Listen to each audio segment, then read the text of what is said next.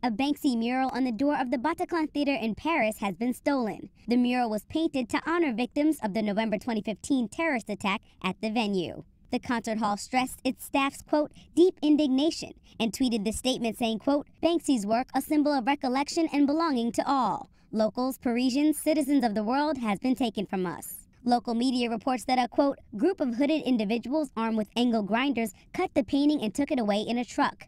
The robbers reportedly stole the painting sometime over the weekend.